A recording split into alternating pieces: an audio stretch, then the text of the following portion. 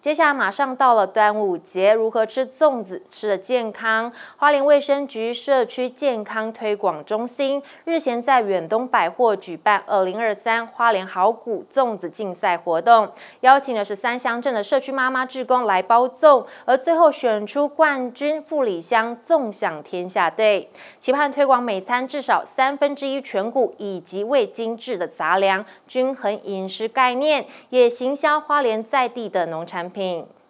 端午将至，一颗传统肉粽约是一碗六分满的饭量。为了推广每餐至少三分之一全谷及未精制杂粮，均衡饮食概念也行销在地农产。花莲卫生局社区营养推广中心周末于远东百货花莲店举办二零二三花莲好谷粽子竞赛活动。十三乡镇社区妈妈、志工及农会家政班各自运用花莲在地优质谷类来包粽子，在地食材的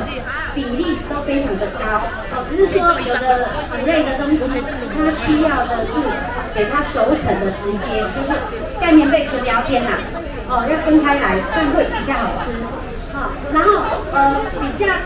比较可惜的是，本来我们有一组我们要把它跳脱起来，它的那个三叔的非常的特殊，啊，可是就是它的食材变成没有熟，哦，没有熟，这一组真的很很可惜哦。在古代哈，吃粽子可能是一个非常好的营养的来源，但是我们现在的人，因为现在我们的生活都很。都都非常的好，每天吃大鱼大肉，其实身上的胆固醇、身上的呃这个血糖啊等等的都偏高，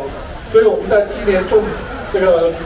端午节之前啊，我们为了推广一个健康的粽子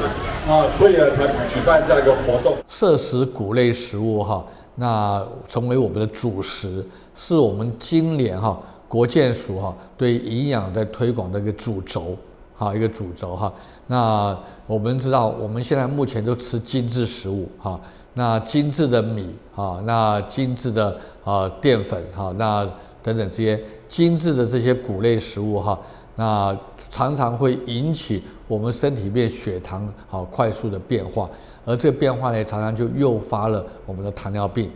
那也因为这些精致的谷类食物嘞，哈，那到达我们身体边会在血管堆积，成为胆固醇，所以也很容易造成心血管的一些疾病。包含新橙子地瓜、吉安芋头、卓西小米及富里有机黑糯糙米等，都成为粽子馅料一部分。五位评审也从各主题发挥和各组手艺中选出前三名，冠军由富里乡纵享天下队夺得，亚军是玉里镇，季军是万荣乡，人气奖则由瑞穗乡获得。期盼透过端午活动，提醒乡亲要吃得健康，减少冠状心血管疾病、第二型糖尿病以及大肠直肠癌的风险。